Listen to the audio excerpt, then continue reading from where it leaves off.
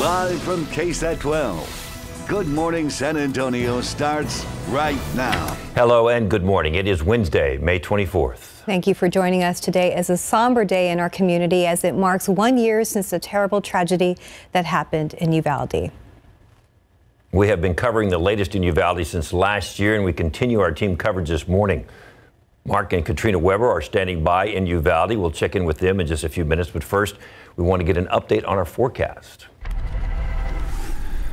Good morning. As uh, we go outside for you, we can see we've got some clouds out there as we look off to the east. We had some storms a little bit earlier, brought some rain to the area, about a quarter of an inch, in fact, to the airport. Uh, now we're just left with uh, some quiet conditions, and uh, we are looking at maybe a few storms up to the uh, up to the north of us. Uh, looks like we're having a few computer issues here, but uh, yes, we did get some rain overnight, and it was uh, good to see. Rain chances today are going to be on the low end, about a 20% chance of seeing some storms. We're going to get uh, these weather graphics going up here and just. Toss over to Stephen now with a look at your traffic. Well, Justin, we know that some of those overnight uh, storms did impact our commute. We had uh, plenty of issues out on the roadway. Let's just get a quick look right now around town. There's 281 at Grayson. You can see things are moving a little bit better out over there, but uh, unfortunately, some of the problems still remain out on the roadway. Uh, thankfully, 90 at Military and 37 at Southcross aren't a bad area, but earlier there was a crash reported out there that was causing a pretty significant delay for drivers. Looks like that's clearing out, and thankfully we have better news to report out there, but still keeping an eye on some issues. We did have a crash reported here at 35 northbound at Topperwein Road. I'm not seeing any impacts with traffic anymore, so that may be a good news that uh, it could be clearing out as well. One last drive over here to I-10 over near Camp Bullis. We did have another crash reported not too far in the eastbound lane. So again, our morning commute has been riddled with trouble, but some of it seems to be dwindling down now.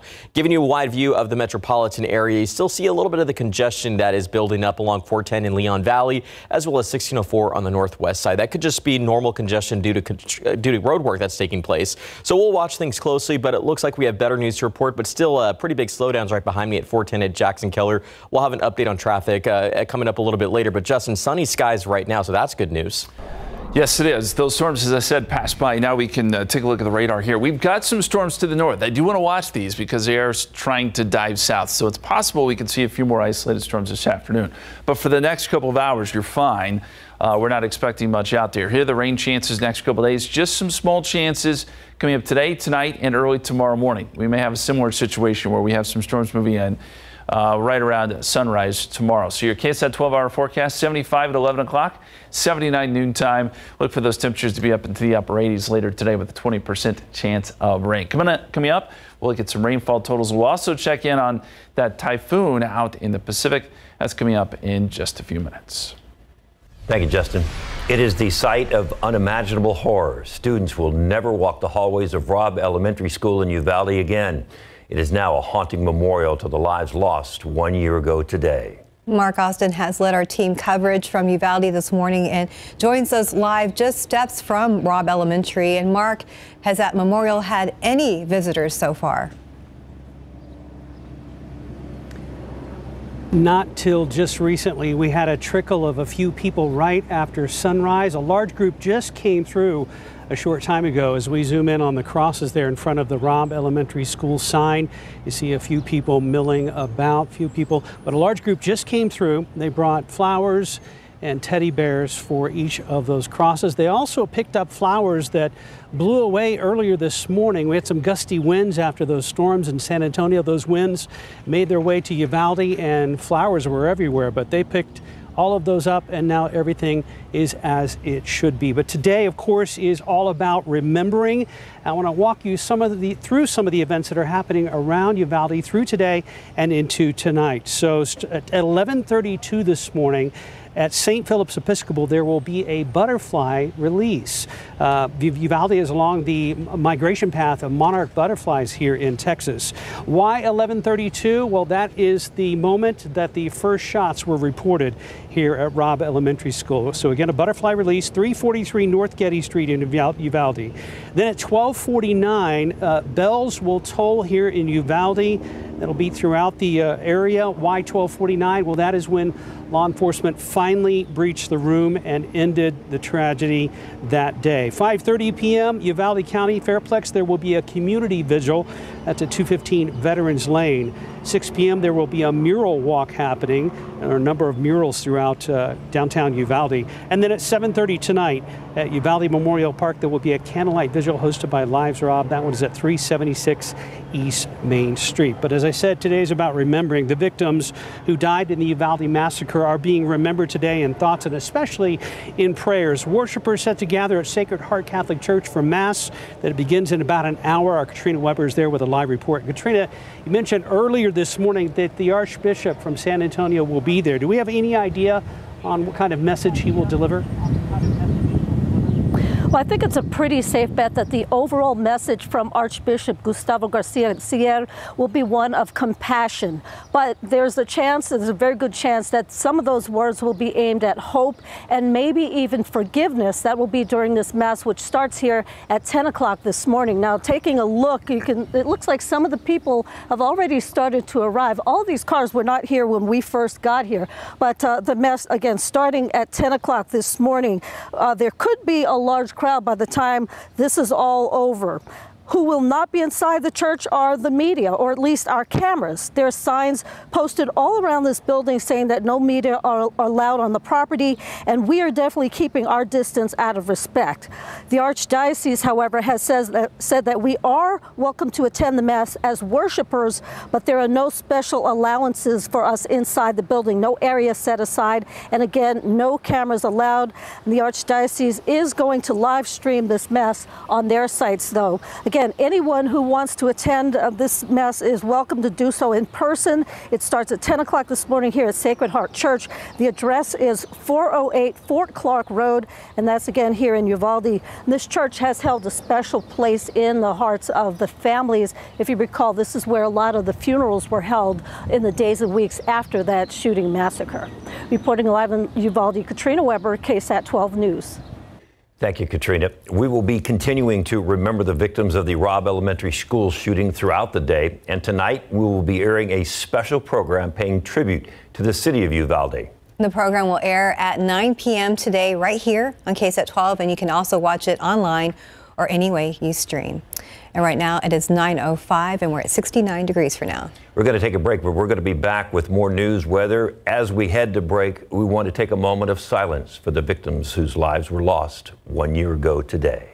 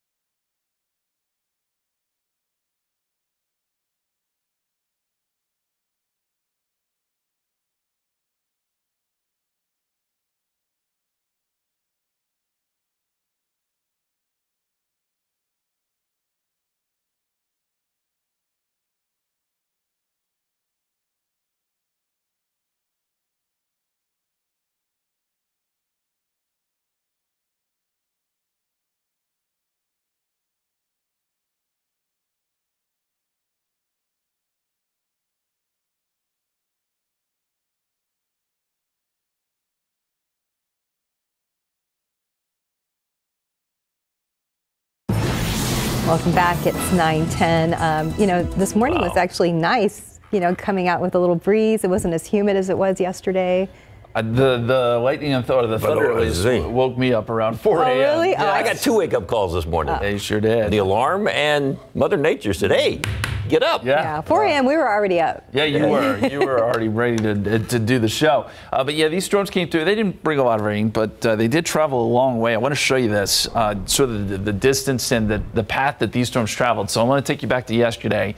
And then right about uh, 8, 9 o'clock there in the Texas Panhandle, we got a good cluster of storms going. This is what we were talking about yesterday. If this could happen, then the flow would take it in our direction, and it sure did. By 2 a.m., it was moving through the hill country and then by say 4 a.m. it was coming through San Antonio, and then by the six o'clock hour it was pretty much done. Again, it was pretty quick moving, dying down as it got here. Uh, so we didn't see a ton of rain out of it. But it traveled about 350 miles, that cluster of storms, which is pretty impressive. And that's the beauty of this northwesterly flow, as we call it, where the winds are coming out of the northwest. Uh, that it can uh, these storms can travel uh, quite a distance. Here's a look at some of the observed rainfall. We picked up about a quarter of an inch at the airport. Uh, 0.8 in New Braunfels, so that was a great number. Nearly an inch there in Seguin, 0.7 in Blanco. So there were some healthy numbers, uh, especially as you got north of San Antonio, and then here around the city. Uh, more rain on the north side than it was the south side of the county, but St. Hedwig about a tenth of an inch, Randolph about a quarter. And if you're on the southwest side of San Antonio, unfortunately, you kind of missed out on the rain. Here's a look at the live radar, and interestingly enough, we are seeing more storms developing here to our north. Another little line. It's small, but uh, the flow may take it into the hill country before it dies down some. So this is something I'll be watching. Also, this little cluster up here. Otherwise, it's quiet for now here around San Antonio. And as we look at the futurecast, uh, this doesn't show a whole lot this afternoon. I think with some outflow boundaries around, we still could see a stray storm or two today. And I should mention that if we do get a storm, that it could briefly become strong. I'm not looking for a lot of severe weather, but it could uh, become strong for, you know, a little bit before kind of falling apart. Then as we get into tomorrow morning, this computer model wants to bring in another round of storms, dying down as it moves in, but moving in by tomorrow morning, maybe a little bit later than this morning's activity. This has some activity uh, moving through San Antonio around 10 a.m. We'll see. The timing is always difficult with these systems. It really depends on where and when those storms develop. So stay tuned. Of course, we'll keep you updated. 68 degrees right now, northerly winds at about 9 miles per hour. Dew point is at 64. Cloud cover, well, it's moved out. So we've got mostly sunny skies here around San Antonio, but you see some of the clouds to the north associated with those storms that we showed you earlier. So some of that cloud cover could work in a little bit later today. 72 New Braunfels, 73 Pleasanton, 73 right now in Hondo. Upper 60s, low 70s for the San Antonio area right now. And our KSAT 12-hour forecast, 75 at 11 o'clock, 79 noontime. We're in the 80s this afternoon. There is a 20% chance of a stray shower or storm. And that goes right on into tonight. Again, with the timing being a little bit tricky, we're going to keep rain chances in most of tonight and into tomorrow morning, but they're low chances. 87 Saturday, 87 Sunday for your Memorial Day weekend. And for Memorial Day, we're expecting a small chance of storms. We do want to pass that along. Temperatures will generally be in the upper 80s with lows in the upper 60s. Guys. The San Antonio Food Bank is a crucial resource for thousands of families across our country, and the summer months are some of its busiest. Max Massey joins us live from the food bank. And Max, what does the need look like right now? Well, guys, it is thousands and thousands of families across our community, and, and take a look. I mean, we got empty shelf after empty shelf after empty shelf. Joined here with Michael from the food bank. So we talk about the thousands of families. What does that number actually look like? You know, we've been maxed at about 105,000 individuals a week on average. And you think about that, that's that's a lot of pantries to fill.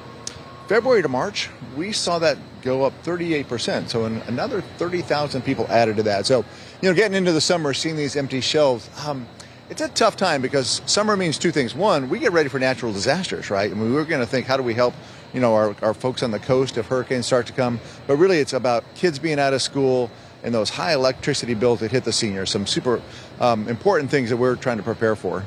Now, silver lining of kids out of school, obviously, they're not going to get the lunches and whatnot, but it is more time for families to volunteer. What does the volunteer need look like right now? Man, um, summertime and volunteerism think about kids and the opportunity to get maybe with mom and dad, with other friends, and to, and to give back. It's so hard during the school year. There's so little time. Sports and other things kind of crushing families that they don't have time to do that. And here's a big window 10 weeks um, and the opportunity just to to help heal our community through service. Um, when we take all ages, that's a great thing. You know, moms and dads um, can bring their kids of all ages. Don't leave them here with us, but you know, come with them and serve together. It's a great opportunity. All right, we only got about 15 seconds left. If someone was to drop off items for the food bank, what is one item in particular that they should? Yeah, hey, cash is great, but peanut butter and jelly is going to help us a lot with kids this summer. It's an easy thing that they can make at home. It goes a long way. Michael, thank you so much. Guys, if you have any questions, we're going to have so much more on ksat.com. And of course, coming up on the news at noon. Back to you guys. All right, Mike, thank you very much. Look at a pretty big playground for the kids, though, doesn't it? Uh, yeah. a lot, lot, of space out there. Maybe some parental supervision. Probably need that. 916, 69 degrees. And Robb Elementary School has become known for the deadly shooting there a year ago today. But the school had a deep history in Uvalde long before that. Myra Arthur has a KSAT Explains episode on the history of Robb Elementary when we come back.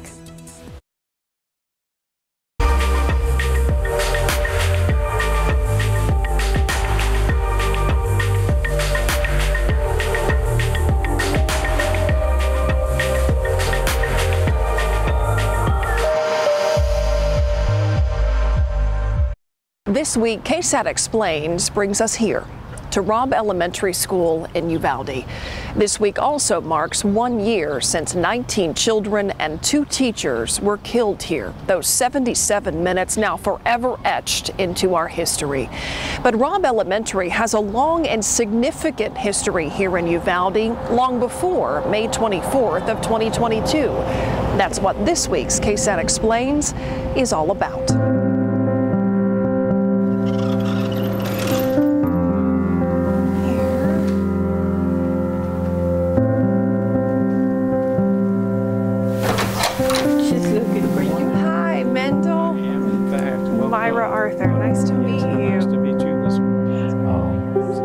So many, so many un, unimaginable effects and ripples. Just keep going.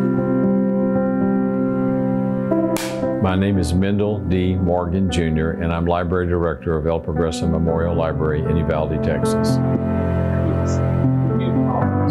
I want the library to be a safe place a refuge, a respite from what tragedies are going on in the community. So I grew up in Uvalde. My formative years were here, and in my heart, this is my hometown. There are so many stories that people have in this town connected to yes. Robb. Yes. Long, oh, yes. long before May 24th of last year. Oh, absolutely. Robb was one of our uh, very well established uh, schools in, in the community. And I did want to share with you my late aunt, Arlena Nose, was a teacher at Robb School for 40 years.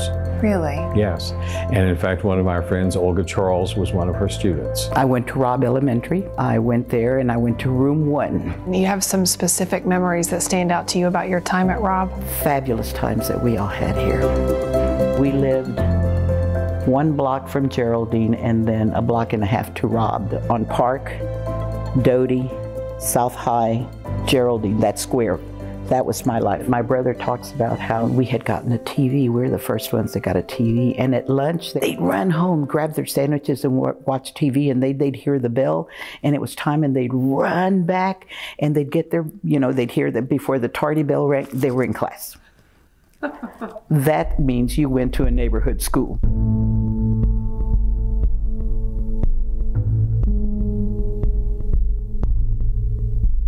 But when she was 11, the family moved to Uvalde, and she was among the first students to graduate from high school here in 1891. There were three students in the graduating class in 1891. And when she was president of El Progreso Club in 1926, she was the one who went to the city to make the first request for funding for the library for the operating budget.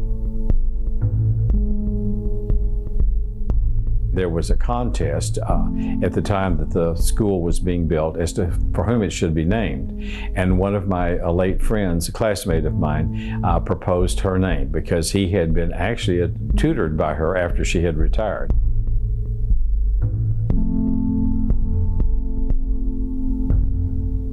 I went to Robb in the, in the 50s. I was, I think I was in the fourth grade, and I realized that there was so much discrimination here at a very young age. And back then, because of the area that Robb Elementary covered, we were all Hispanics. You know, the teachers back then were mostly white. They punished us for speaking Spanish.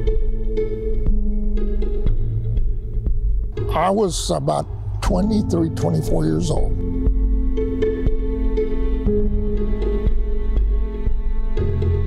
Years and years of oppression. The school issue came up, we took advantage of that.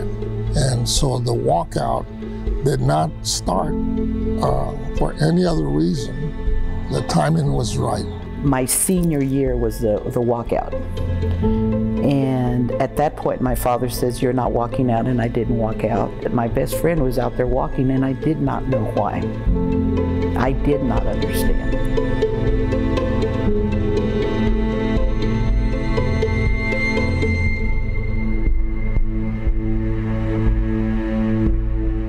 Poor kids, they lost a year, the ones that didn't come back.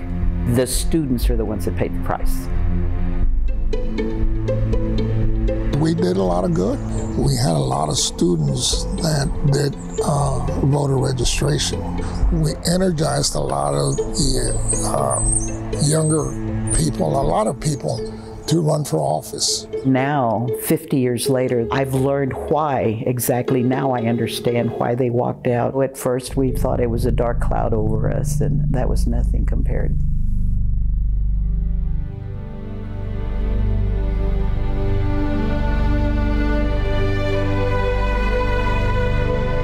I'm just going to follow behind you with my phone. We have received, I guess, thousands of cards and letters. We've received uh, quilts, we have received crosses, we have received paintings, drawings, artwork. That's beautiful. Well, everyone is trying so hard to do something meaningful. How do you hope this library can play a role in telling the story of what happened on May 24th. We know that research will be done on this tragedy for many years to come. We will be able to professionally identify all the objects that have come to us. People are still coming from everywhere who want to come and, and be in the community to offer their support uh, and to see what happened here.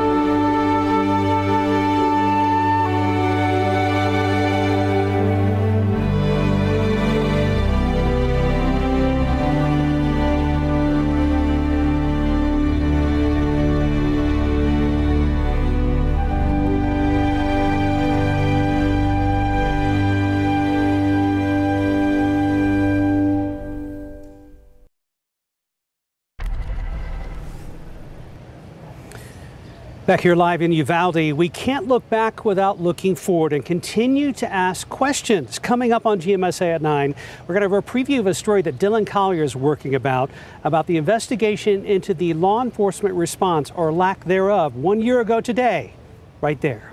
We'll be right back.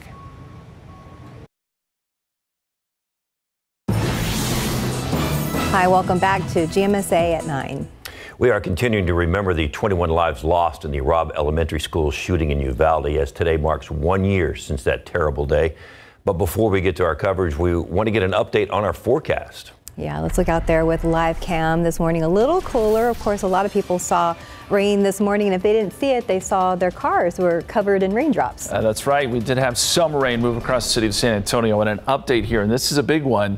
We're now up to 11.54 inches of rainfall for the year. We are now above last year's total for the entire year. 11.51 is all we saw last year uh, in 2022. It was the second trash year on record. We are now past that already, and we're not even halfway through the year yet. So this is shaping up to be better for us, and it was nice to see that rain this morning. Let me show you the radar real quick because we still do have some activity uh, that is off to our north. Still some lightning strikes up here, and this is trying to move in our direction. We'll see if it holds together, but some new development towards uh, Mason. This is all drifting south and east. So uh, if, if some of this can make it in here, we could conceivably see a little bit of rain across the whole country this morning. And there's going to be some more opportunities, I think, even going into tonight with some storms that developed to our north, very similar to last night. And uh, they could make their way into our area. In the meantime, mostly sunny skies this morning here in San Antonio. Then we'll add in that 20% chance of rain this afternoon. Temperatures make their way up to 88 degrees and look for rain chances to continue even into tonight to account for any storms that develop to our north and work their way into the area by tomorrow morning, guys. Thank you, Justin. Our team coverage continues in Uvalde this morning. There are still a lot of questions as to whether or not members of law enforcement on the scene that day will be facing any criminal charges. Mark Austin joins us live once again from Uvalde with more details as we continue to pursue that angle of the story. Mark.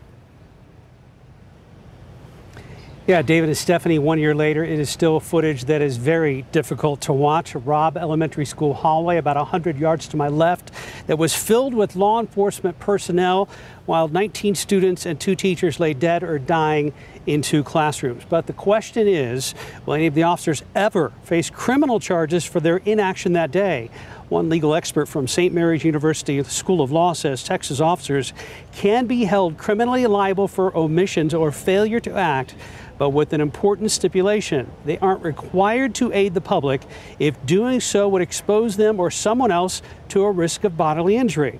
And coming up later today on the news at 5, our Dylan Collier breaks it all down. And once again, there are several events happening today to remember the 21 lives lost, and we will continue our team coverage of those events throughout the day. David and Stephanie? Thank you, Mark. And one of the first people from KSAT who arrived in Uvalde on May 24th last year was Lee Baldwin, and she has made it a point to return to the city almost every week for the past year. Lee now joins us live. Good morning, Lee. First of all, I know you're on your way back to Uvalde for uh, the rest of the day's activities and the special tonight, but you have been there so many times. Can you describe the atmosphere in the town? Has it changed? We know today is going to be a somber mood, but has it changed over this last year, or, or have you seen much of that? We've seen a lot of changes over the last year. I think um, there's been some division that's popped up between the families and also with the people in the community. Um, a lot of times, the families have felt that the community hasn't stood with them when it comes to voting out certain elected leaders, whether that be on a state level or even on a local level. There's also sometimes a feeling of wanting the town itself to move forward, but when you experience a loss like this, some of the moms we've spoken with, and you'll see hear from them tonight, they've said that there's no moving on after you've experienced a pain like they have, after you've lost a child or lost your mother in a way that they lost their loved ones uh, this day last year. So the families and the loved ones the victims, they haven't moved on. They won't move on um, until there's accountability and justice. And Lee, we know you will be very busy today in Uvalde with the coverage throughout the day, but we also understand that you have built close relationships with the families of the victims, and they have actually asked you to spend part of the day with them as they remember their loved ones. Well, how, how have you dealt with it as a reporter and personally? You know, this has been uh, a, a beautifully unique honor to be trusted to tell these stories in this way, to to people's homes, to hear about their loved ones, learn about they were. Um, it's been the absolute honor of a lifetime to be able to do that. And with handling that as a reporter, you do have to balance your job with also being a person. I can tell you that I have immense love for every and we've met person that we've met in that community because deeper than just telling a story or just doing an assignment. No, it, it's you have real genuine love for these people. So personally, it's a hard day. It's a sad day because last year I remember the first drive to Uvalde. I was with the same photographer Gavin Nesbitt that I'm with right now, and we were unsure of what we were going to experience. But throughout this last year, we've really formed some real relationships, and it's just a unique experience to love someone that you're never going to have a chance to meet, and that's how we feel about every single one of these victims and that's how we feel about the survivors and that's how we feel about their families too of course, last year, Lee, we promised that we would remember those victims and their survivors throughout this last year. But what are we going to do going forward? Well, our reporting, our push for accountability and following this story, it doesn't stop here. Um, there are still not full answers as to what happened inside of Robb Elementary one year ago. Um, the DA's investigation into this shooting has not been completed. Many of the law enforcement agencies, they've completed their internal investigation. They handed over that material to the district attorney's office. We got an update from the but it's finally starting to move forward after coming to an agreement with the district attorney's office for their independent investigator to have access to certain materials. So there still isn't a clear answer as to what happened that day. So that's where we step in and that's where we continue to hold people accountable and we continue to follow this story. There's also amazing things that these families are doing to remember their loved ones, and we're going to continue following that as well because just because the one year mark is is here that doesn't mean the grieving stops that doesn't mean the pain stops that doesn't mean their fight stops so we're going to keep following them every step of the way as long as they want us there we'll continue to be there and Lee, you are driving to Uvalde, so your signal was cutting in and out just a little bit, but we want to ask you one more question. Our, our, special program airs tonight at 9 o'clock, and what are you hoping people who watch One Year in Uvalde will take away from it? I'm hoping that when people see our special program tonight at 9 o'clock, that if they didn't know about one of these victims, if they didn't know about one of these survivors, they come away from this knowing something a little bit more about them because what we've said from the get-go is these 21 victims, these survivors from Classroom 112 and from other parts of the school, they're more than just those moments this time last year. They were full people. They had dreams and goals and aspirations for themselves. So we hope that you come away with this knowing a little bit more about them and maybe every year on their birthday you celebrate for them Maybe when you pass by a butterfly, you think of them because that was a big thing here in Uvalde, the butterflies. The families say when the butterflies appear, the angels are near. So maybe you'll think of them, and maybe every May 24th, you'll light a candle, you'll say their names, you'll remember their faces. That's what I hope people get from watching tonight's program. All right, Lee, thank you very much as you continue to drive towards Uvalde to uh, continue our live coverage throughout the rest of the afternoon and on into the evening with the special that we look forward to very much tonight, once again at 9 o'clock live here on KSAT 12. Safe travels to Uvalde, Lee. Thank you for being with us. Thank you, Lee. This afternoon, President Biden is set to remember the Robb Elementary victims. He and the First Lady visited Uvalde last year after the shooting. His speech is set to take place at 2:30 this afternoon from the White House, excuse me, the White House Grand Staircase. You can watch his speech right here on KSAT 12 or on our website at ksat.com. It is now 9:39 and 71 degrees. You are watching GMSA at 9. And we're going to continue our Uvalde coverage in just a few minutes, but we are going to step away for about 3 minutes and come back with Justin and the latest on our forecast. Hi, welcome back. It is 9:43. It's been a cool morning, and a lot of people saw rain again today. Yeah, it was good to see some rain move in this morning. It was a little loud for for time, but then the rain died down pretty quickly. We didn't get a ton of rain, but uh, it was enough to put us up over 2022's total for the year. Already? That's so we hit already. it. Good. Wow. We're already above that mark. So good to see that. We're over uh, 11 and a half inches for the year. So hopefully we'll keep adding to that. Uh, we talked yesterday, guys, about what was going on in Guam, the uh, major typhoon there. I did want to show you some pictures out of Guam. There is some damage being reported now as it made, or it's very, very close to making landfall. Uh, and the winds are are strong. A lot of lightning with this typhoon too, which is kind of odd. Uh, but you see some of the uh, pictures here coming out of uh, Guam as they prepared for this typhoon. So let's get to the satellite picture, and I'll show you uh, where it's headed now, what it looks like. Uh, so here's Guam out here, and there is that typhoon, and it is uh, right over the island right now. I mean, the center of probably now moved past it. There it is. So the ice kind of starting to redevelop. So they're on the backside of things now. Winds are still at 140 miles per hour, gusting to 165. Uh, we'll probably get a few more pictures out of Guam showing uh, perhaps damage, not a whole lot, we hope. Uh, but you can see that uh, massive typhoon as it moves off to the uh, moves off to the west, and it will eventually work its way towards Taiwan and the Philippines, probably bringing some rain there. Okay, back in our uh, neck of the woods, I want to show you this picture. This is from Nancy. Uh, a lot of folks sending in pictures of the clouds this morning. They had uh, very cool shape to them, uh, very interesting form. Uh, this is likely a gravity wave, it looks like, uh, from the storms that move through. In the wake of those storms, and sometimes you get with turbulence in the atmosphere, you get some really cool types of clouds, and that is certainly one of them. Nancy, well done with the picture taking there. And if you want to check out some more, we've got them on KSAT Connect. Uh, you can look at that on our website as well and on the apps. Uh, let's go to the live radar and uh, we'll look at where the storms are now. Nothing here around San Antonio, but we are noticing some storms developing up near Llano and Burnet. Uh, those storms are going to try to work their way south. We'll see if they hang together. I don't know that they will, uh, but uh, they are carrying some lightning with them. So it's it's worth watching just because this flow is taking everything sort of in our direction. And as we get into tonight, we'll watch for storms that develop way up here around Lubbock again. That's what happened last night and make their way down here. There's still some questions as to whether or not that will happen, but we have to add in that rain chance to account for that. So let me show you the uh, future cast here. And this does not really show much this afternoon. I think with some lingering outflow boundaries, there's a chance we could see a few more storms this afternoon. Uh, so we'll keep it at a 20% chance. And this model does take some of those storms that develop across North Texas and bring them down in San Antonio by early tomorrow morning. This shows around 10 a.m. Timing still in question.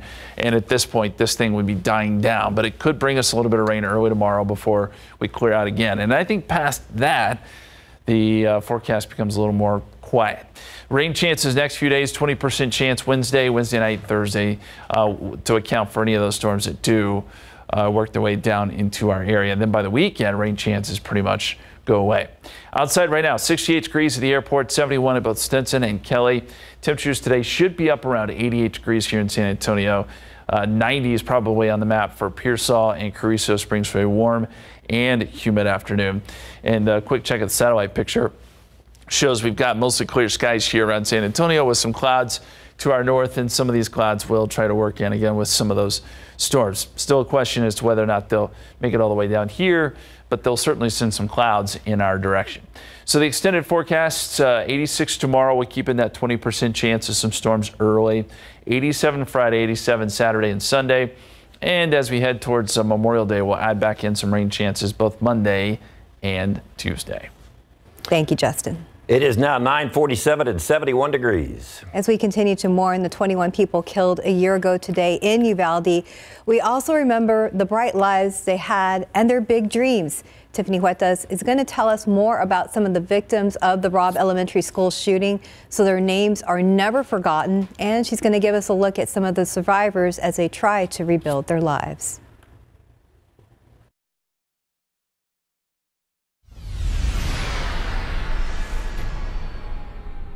I'm back here live at Robb Elementary School in Uvalde. You may hear a helicopter overhead. I believe that is a Department of Public Safety helicopter keeping watch over the city on this, this tragic day. Uh, I wanted to let you know that uh, throughout the morning so far, we've had a number of visitors to the memorial here in front of Robb Elementary School. Uh, just a short time ago, uh, one of the victims' families did show up, and I'm happy to report that for the most part, the media is giving the families space today, and that was the idea to let them grieve in private. Want to walk you again through some of the things happening today here in Uvalde. Quite a number of tributes and events happening in just a few minutes. The Mass at Sacred Heart Catholic Church here in Uvalde will begin at 10 a.m. Archbishop Gustavo Garcia Siller will be presiding over the Mass. It's open to anyone who wants to engage in silent reflection or perhaps light a candle. Then at 5.30 p.m., there'll be a community vigil at the Uvalde County Fairplex, which leads into the Lives Robbed Candlelight Vigil. That's at 7.30 tonight. That will be at Uvalde Memorial Park Amphitheater. Now, according to Community Impact News, the event will also feature, and we didn't know about this till this morning, it will feature 21 searchlights in honor of the victims. The lights being provided by a San Antonio lighting company called North American Searchlight Advertising. Company's owner says the lights will stay on in Uvalde from sunset tonight until sunrise tomorrow morning. I'm back here live at uh, in Uvalde at Robb Elementary School. On a personal note, I want to let you know I was here for back to school last year. And turning the corner onto the street to see this campus is gut wrenching. But even more emotional is the cemetery that is not far from this location, where there are year old graves that are too many to count, uh, covered in fresh flowers and teddy bears. It's a tough day. Back to you. Yes, it has been. And Mark, we thank you for your live coverage this morning. In the meantime, we are remembering those lives, those 21 lives that were taken a year ago today. We're also honoring the survivors that live with this terrible memory now as they try to pick up the pieces of their lives. Tiffany Huertas tells us more about some of the victims from the Robb Elementary School shooting and about some of the survivors. Nine year old Jackie Cazares dreamed of going to Paris. 10 year old Tess Mata loved the Houston Astros and playing softball. Fourth grader Lexi Rubio wanted to be a lawyer and loved school. teacher Eva Mireles was an avid runner, and in March, the Eva Strong Memorial Run took place for her birthday. Makenna Elrod loved horses, and in April, the Makenna Elrod Seiler roping competition and scholarship presentation was held to honor her. Amerie Jo Garza loved to paint, draw, and play with clay. For her birthday earlier this month, her family set up tables for painting at the town square so people could gather and remember what she loved to do. The family of Eliahna Torres moved to a new house after the shooting and made sure Eliahna had her own room, something she always wanted. It's now lined with pictures, drawings, and tributes. Maite Rodriguez wanted to be a marine biologist. After the shooting, she could only be identified by her beloved green Converse. Apologize. Brett Cross, Uzziah Garcia's guardian, says he's not afraid of being a nuisance and will continue to fight for change. He said he's not going to let his son be a statistic. You're going to remember his name. Those are just some of the stories of these young kids and their teacher that we've heard as their families continue to make sure that their names are remembered. But there have also been other stories that have been told about the survivors from the Robb Elementary shooting. I shouldn't have to be here. 10 year old Caitlyne Gonzales now travels the country calling for change, uniting with other survivors of mass shootings. Daniel Garza is now in fifth grade, but has moved to Sabinal ISD after the shooting. Mayah Zamora was one of the 11 kids in room 112 who survived the shooting. She was shot seven times in her chest, back, arms, and hands. She has gone through more than 60 surgeries and still has more ahead. But she keeps her spirits up through the outlet of art. AJ Martinez and Jaden Canizales were also in room 112 and survived the attack. They have leaned on each other to help cope with the tragedy they endured. 11 year old Noah Orona was also in the rooms where the gunman was. He was shot in the back, but the bullet missed all of his vital organs. While he's still healing, he is back to playing video games, drawing, shooting hoops in the backyard and he now attends the local Catholic school in Uvalde. And two 11 year old girls were honored during a ceremony last month, given the Texas Kid Hero of the Year award. Mia Cerrillo and Chloe Torres were trapped inside their classrooms during the shooting and managed to call 911 to get help for their classmates. In a one hour special tonight, KSAT looks at the past 12 months. Hear from families and the Uvalde community. Tiffany Huertas, KSAT 12 News. Thank you, Tiffany. We have come to the end of this hour of our coverage. We want to thank Mark and Katrina for the live reports and photojournalists Azine Bermia and Robert Samaran. Thank you to our crews and thank you for joining us.